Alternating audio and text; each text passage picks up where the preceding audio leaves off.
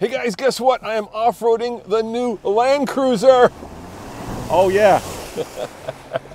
and come back on April 16th because we're publishing our full review and then Roman, of course, drenches me in water.